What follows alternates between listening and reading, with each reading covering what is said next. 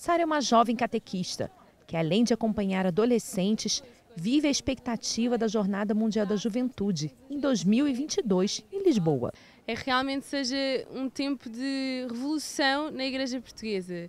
Eu espero muito que esta jornada, principalmente a pré-jornada, já esta preparação do projeto CS eh, que está a acontecer na catequese, eu espero muito que venha trazer uma revolução dentro da igreja e dentro dos jovens para nos dar mais coragem para dizer que somos católicos e que vivemos a fé e que estamos no mundo, mas que vivemos nesta fé e que dizemos sim a Deus. Eu acho que cada vez mais nós jovens temos mais influência sobre as pessoas da nossa idade e até mais novas e que isso é um dos maiores trunfos que, que realmente a Igreja pode e deve pegar. É pegar na juventude que está para conquistar a juventude que está fora. Nas Jornadas Nacionais de Catequistas 2019, cerca de 650 participantes de todas as dioceses do país, inclusive dos Açores, refletiram a caminhada pastoral da catequese em Portugal e o itinerário rumo à JMJ.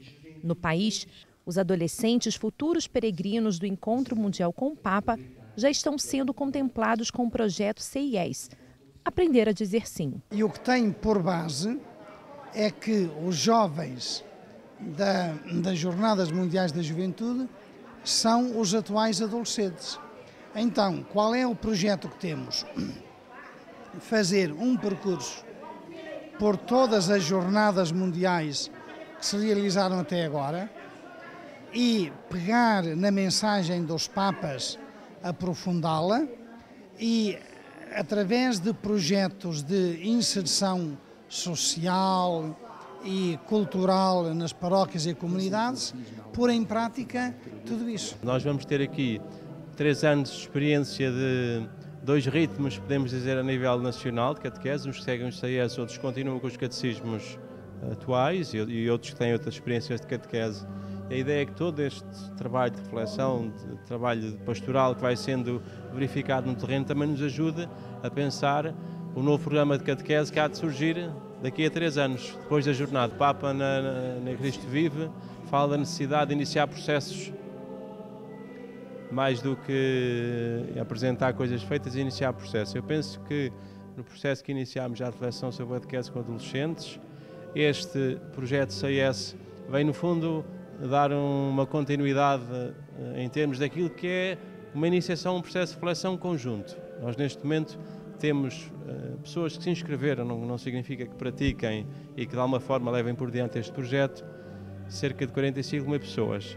E, portanto, é uma grande massa de gente a pensar e a trabalhar, e isso procura contribuir para aquilo que será depois o trabalho uh, que iremos realizar depois das jornadas. A viagem até a JMJ tem diversas paradas.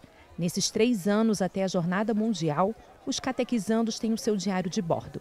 Os materiais do projeto CIES abordam de forma prática a história, temas e mensagens de todas as jornadas mundiais até a última no Panamá. Portugal já está vivendo de fato a Jornada Mundial da Juventude. De forma dinâmica e interativa, esses materiais do projeto CIES, inclusive os digitais, pretendem alcançar os catequizandos de todas as dioceses e alcançar o seu objetivo, para que a JMJ não seja apenas mais um evento, mas atraiam jovens cada vez mais a Cristo e a comunidade cristã.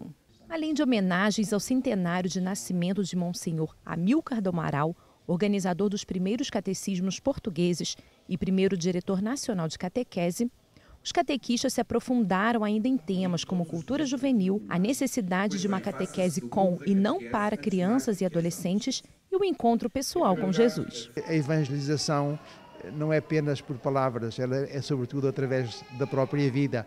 O evento em si é um evento evangelizador, naturalmente tem momentos mais especificamente evangelizadores através da palavra, mas quando eles se unam, quando eles se cantam, quando eles se riem, quando eles estão uns com os outros, já estão a ver o Evangelho, porque a alegria é exatamente aquelas que recebem de Jesus Cristo.